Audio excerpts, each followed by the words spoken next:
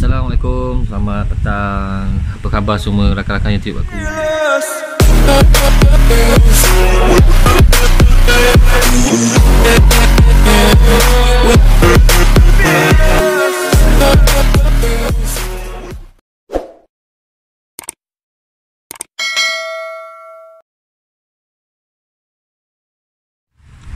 Okay, so Minggu ni aku tak ada kerja sangat nak buat. So Aku nak uh, cuci rantai tu. Okay, aku rasa dah 500 km kot aku pakai rantai ni. Silap aku lah. Aku tengok sekarang ni pun Agak kotor. Aku rasa bukan agak kotor ni sangat kotor. Sekarang ni aku nak cuci rantai ni Dengan menggunakan bahan-bahan daripada Mr. DIY je. Murah je. Okay, first kali aku tunjukkan apa barang-barang yang aku pakai untuk aku cuci rantai kali ni.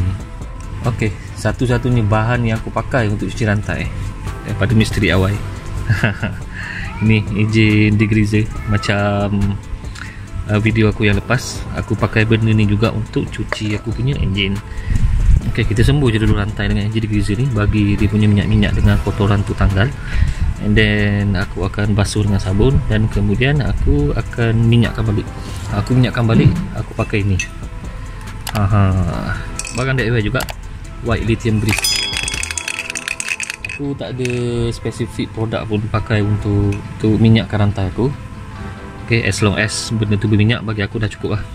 Kalau motor yang gerak daily disarankan ada elokkan bagi aku lah setiap 1000 km ke kita minyakkan rantai lah. And then kita cuci rantai tu tengok pada keadaan rantai tu juga. Kalau masuk aku 500 km tu dah kotor sangat korang cucilah terus eh, jangan tunggu sampai betul-betul nak 1000 km baru nak cuci. Eh, depends jugalah sebab dia expose pada outdoor. So tengok keadaan jalan yang korang lalu hari-hari. Kalau keadaan jalan korang tu berdebu gila sangat berdebu ha, korang kena kerap basuh rantai lah. Okay, unless lah kalau korang punya motor ni motor weekend. First kali kita sembuh dengan degreaser dulu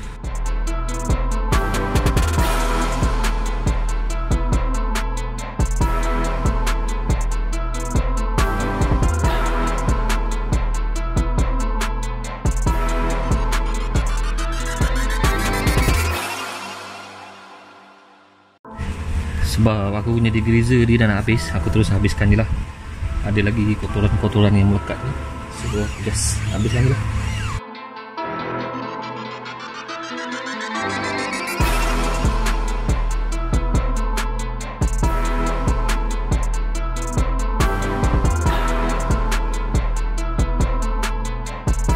Kalau korang perhatikan betul-betul aku tak tahu nampak ke tak dalam video ni. Masa aku sembuh ni uh, sebab dia punya treasure ni kuat juga. So dia punya minyak-minyak yang bercampur dengan pasir tu tertanggal sekali tau.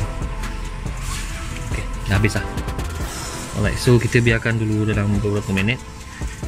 Then lepas tu kita sembuh dengan air yang tajam. Kita jangan tunggu sampai degreaser tu kering eh. so sebelum degreaser tu kering uh, kita terus sembuh dengan air lah. So make sure air tu air pancutan yang tajam lah supaya uh, minyak-minyak kotoran yang tertanggal daripada lantai tu terus jatuh dengan air. So kalau kau tengok kat lantai tu uh, nampak tak? Ok itu adalah lebihan-lebihan minyak. Eh bukan lebihan minyak itu adalah minyak yang melekat kat rantai uh, yang tu yang tertanggal sendiri. Ok aku bersembur dengan air lagi. Uh, tengok tu. Tu yang kat lantai depan. So maksudnya kalau aku sembuh dengan air nanti yang masih melekat dekat sini yang belum jatuh tu akan jatuh dengan air lah. Okay, mana yang sangat nakal tu sangat susah nak tanggal tu nanti aku sentar dengan berus je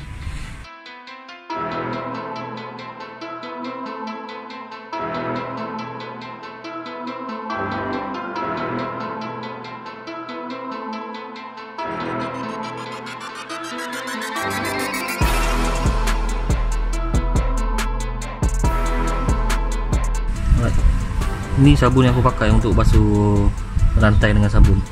Ha ni pun beli kat Eco je ni. Uh, tak payah mahal-mahal. Asalkan bersih sudah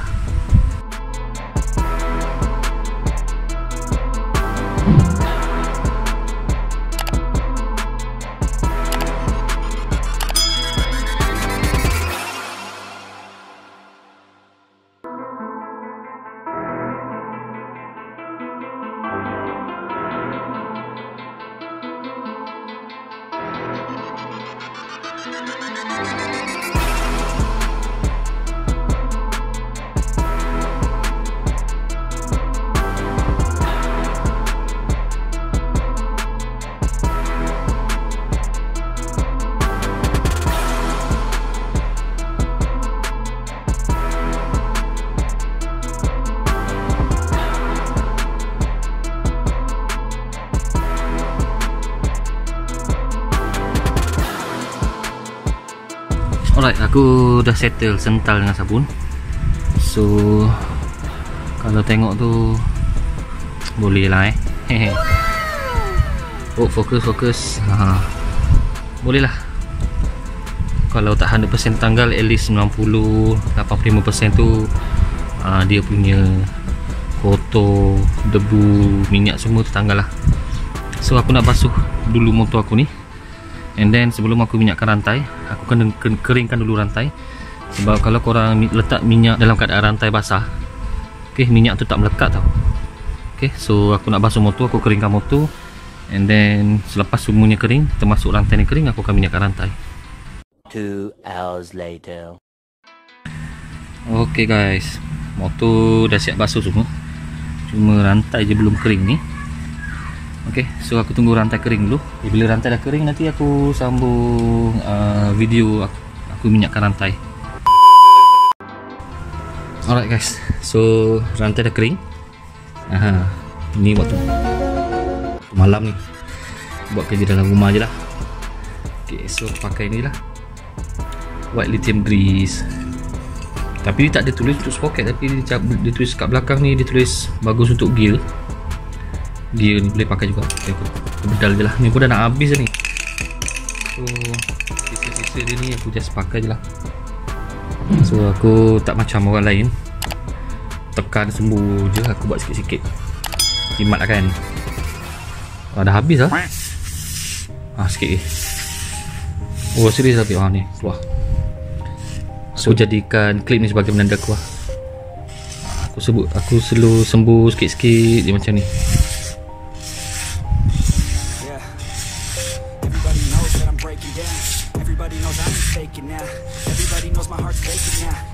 Mula-mula kau korang sembuhkan uh, pembukaan luar ni dulu.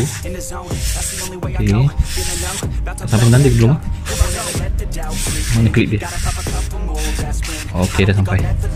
Alright, lepas tu Oh gambar gelap lah hmm, Buka lampu Sama je terangnya tu Okay lepas tu Korang oh.